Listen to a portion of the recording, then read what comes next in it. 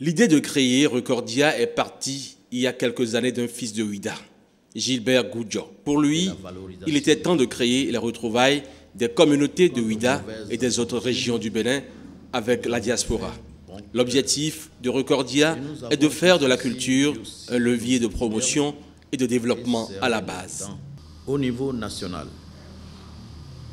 organiser le brassage systématique des communautés en mettant l'accent sur leur collaboration avec toutes les composantes de la diaspora en vue d'inculquer dans leur esprit la culture de la paix et de la concorde pour une émancipation qui soigne l'image de l'Afrique.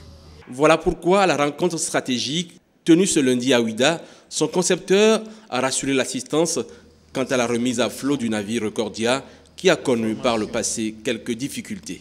Recordia est doublé d'un autre projet. Il s'agit des cérémonies conjuratoires et expiatoires au Bénin pour l'Afrique. De façon spécifique, il s'agit de faire participer des acteurs impliqués du côté des vendeurs et des acheteurs à une cérémonie nationale et internationale de repentance en mémoire de la traite négrière.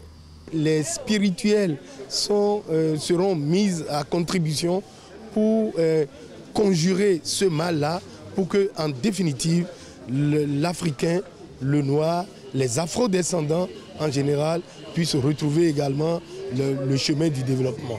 Tout ce qui a été dit aujourd'hui par le, coordonnateur général, M. Egoudio Gilbert, soit traduit en actes pour le développement de, la ville de Ouida.